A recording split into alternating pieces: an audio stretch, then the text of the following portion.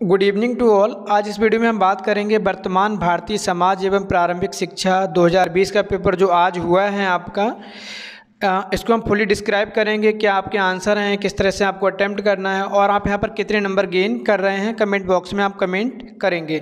जो syllabus discuss किए थे आपसे फ़र्स्ट पेपर का, उस सलेबस से आपको यहाँ पर 20 से 22 क्वेश्चंस मिले हैं सेम टू सेम अगर आप कुछ नहीं पढ़े होते, तब भी इस पेपर में 22 क्वेश्चन आप आसानी से कर ले जाते हैं जो कि सलेबस डिस्कशन में आपको मिले हैं। चलिए तो हम यहाँ पर एक बार देखते हैं किस तरह का पेपर आया था और क्या आपको ऑप्शन वहाँ पर ऑप्ट करना था? चलिए हम बात कर बीटीसी द्वितीय सेमेस्टर 2020 प्रथम प्रश्न पत्र वर्तमान भारतीय समाज एवं प्रारंभिक शिक्षा। आज के पेपर को हम यहाँ पर डिस्कस करेंगे। क्या आपको आंसर यहाँ पर देने थे? और पेपर आपका अच्छा पेपर आया है, जो वीडियो आपको शेयर किया गया था सिलेबस डिस्कशन वाला, वहाँ से आपको 25 क्वेश्चन यहाँ पर मिले हैं। कोई चेंजेस नहीं है सेम टू सेम हैं। तो हम यहाँ पर डिस्कस करते हैं, कौन सी क्वेश्चन का कौन सा आंसर आपका यहाँ पर है। चलिए हम बात करते हैं यहाँ पर। पहला प्रश्न है आपका, हमें उस शिक्षा की आवश्यकता है जिसके द्वारा चरित्र का निर्माण होता है, मस्तिष्क की शक्ति बढ़ती है, बुद्धि का विकास होता है और मनुष्य अपने पैरों पर खड़ा हो सकता है। एक कथन है स्वामी विवेकानंद का तो यहाँ पर तीसरा ऑप्शन आपका करेक्ट है। अगला प्रश्न है आपका, जनसंख्या शिक्षा का मूल सहयोगी संगठन है। तो जनसंख्या शिक्षा का मूल संगठन है आपका सहयोगी यूनेस्को। यूनेस्को द्वारा इसको एसोसिएट हम करते हैं। ठीक है? अगला तीसरा प्रश्न है आपका, दिवा स्वप्न के लेखक कौन है? तो दिवा स्वप्न, डे ड्रीम आपके गिजू भाई बदेका के द्वारा लिखी गई है। यहाँ पर दूसरा ऑप्शन आपका करेक्ट है। तीसरा प्रश्न है आपका, पाली भाषा शिक्षा का माध्यम थी। जब आपको बौद्ध कालीन शिक्षा के बारे में बताया गया था तो वहाँ पर कहा गया था, पाली भाषा, बौद्ध काली शिक्षा की भाषा थी। यहाँ पर दूसरा ऑप्शन करेक्ट हो जाएगा। चौथे में दूसरा ऑप्शन पाँचवा आपका मुदालियर आयोग माध्यमिक शिक्षा से संबंधित है। आपका दूसरा ऑप्शन करेक्ट है यहाँ पर। चलिए, छठे क्वेश्चन की हम बात करते हैं यहाँ पर। सच्ची शिक्षा वह है जो व्यक्ति के अंदर से प्रस्फुटित होती है, ये अंतर्निहित शक्तियों की अभिव्यक्ति है। ये आपका फिरोवेल का कथन है। ठीक है यहाँ पर थोड़ा डेफिनेशन को इन्होंने घुमा दिया है। फिरोवेल के अनुसार डेफिनेशन है आपकी शिक्षा मनुष्य की अंतर्निहित शक्तियों को बाहर की ओर हम्म, लाती है। ठीक है सातवां प्रश्न है आपका आधुनिक शिक्षा का जन्मदाता है। तो आधुनिक शिक्षा का जन्मदाता माना जाता है चार्ल्स ग्रांट को। ओके तीसरा ऑप्शन करेक्ट है। आठवां प्रश्न है आपका यहाँ पर किंडर गार्टन से अभिप्राय है। किंडर गार्टन का मीनिंग होता है यहाँ पर बाल उदान जो कि फ्रोबेल के द्वारा दी गई है। नवा प्रश्न है आपका गिजू भाई शिक्षा को मानते थे। तो गिजू भाई बदेका शिक्षा को बाल केंद्रित मानते थे। तो यहाँ पर तीसरा ऑप्शन करेक्ट है आपका। दसवें प्रश्न की हम बात करते हैं, महिला समाख्या योजना कब से लागू हुई? तो महिला समाख्या योजना उन्नीस सौ नवासी से प्रारंभ हुई। तो यहाँ पर आपका चौथा ऑप्शन करेक्ट है। अब हम यहाँ पर बात कर लेते हैं ग्यारहवें क्वेश्चन की। मूल वह है जो मानव इच्छाओं की तुष्टि कर सकें। तो इसका ऑप्शन आपका चौथा करेक्ट है। अर्बन जो आपको बुक शेयर की गई थी पीडीएफ वाली, उसमें पहली डेफिनेशन मूल्य शिक्षा में अर्बन की ही दी हुई है। ओके बारहवा प्रश्न है आपका, स्वच्छ ऊर्जा संसाधन है। तो स्वच्छ ऊर्जा संसाधन यहाँ पर क्या है? सौर ऊर्जा। पहला ऑप्शन करेक्ट है आपका। भारतीय संविधान के किस अनुच्छेद के अंतर्गत छः से चौदह वर्ष तक के बालकों को अनिवार्य निःशुल्क शिक्षा का प्राप्त अधिकार है? तो यहाँ पर अनुच्छेद ट्वेंटी वन का, या ट्वेंटी वन आ पहला ऑप्शन करेक्ट है आपका। चौदहवा प्रश्न आपका, आदर्शवाद के अनुसार शिक्षा का उद्देश्य है। तो आदर्शवाद के अनुसार शिक्षा का प्रमुख उद्देश्य है आत्मानुभूति। पहला ऑप्शन आपके करेक्ट होगा। अगर आपके दोनों ऑप्शन दिए होते हैं आत्मा अभिव्यक्ति और आत्मानुव्यक्ति दोनों दिए हैं यहाँ पर। अगर उपरोक्त दोनों तो दोनों ठीक होते हैं, लेकिन अगर यहाँ पर अलग अलग दिए हैं तो पहला ऑप्शन यहाँ पर करेक्ट रहेगा, आत्मानुभूति।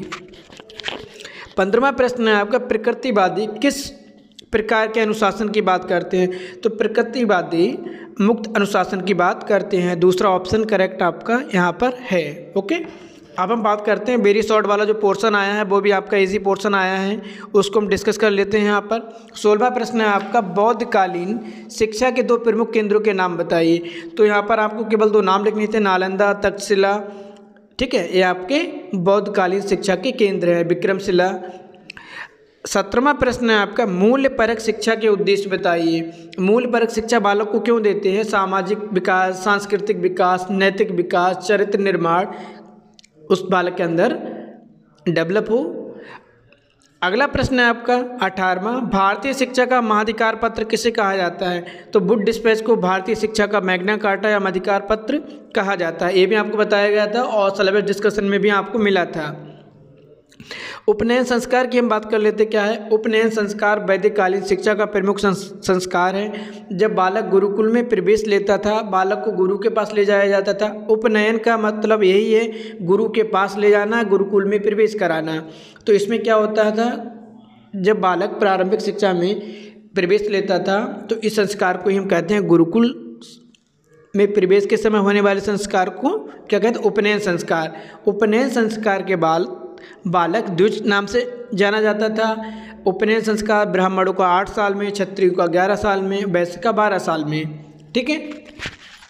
अगला प्रश्न है आपका, राष्ट्रीय बाल श्रम नीति कब घोषित की गई? तो राष्ट्रीय बाल श्रम नीति उन्नीस सौ सतासी में घोषित की गई है। शिक्षा का निषेधन सिद्धांत मैकाले के द्वारा दिया गया है अठारह सौ पैंतीस में। प्लेटो की कोई एक प्रमुख रचना बताइए तो प्लेटो की द रिपब्लिक, क्राइटो। ठीक है? ये आपकी प्रमुख रचनाएँ हैं। The laws. अगली हम बात कर लेते हैं। कस्तूरबा गांधी बालिका विद्यालय की स्थापना के दो उद्देश्य लिखिए। तो कस्तूरबा गांधी बालिका विद्यालय जो स्थापित किए गए थे बालिकाओं को गुणवत्तापूर्ण शिक्षा प्रदान करना उनको सुरक्षित माहौल देना। सुरक्षित माहौल का मतलब जो कस्तूरबा गांधी विद्यालय थे वो आवासीय विद्यालय थे।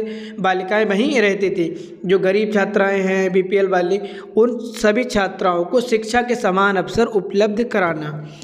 अगला प्रश्न है आप, आपका शिक्षा की एक परिभाषा लिखिए। तो यहाँ पर शिक्षा की आपको परिभाषा लिख देनी है किसी के अकॉर्डिंग लिख देंगे। महात्मा गांधी के अनुसार शिक्षा से मेरा आशय बालक या मनुष्य के मन, मस्तिष्क व आत्मा के सर्वोत्तम व सर्वांगीण विकास से यहाँ तो कोई भी यहाँ पे एक डेफिनेशन आपको दे देनी थी।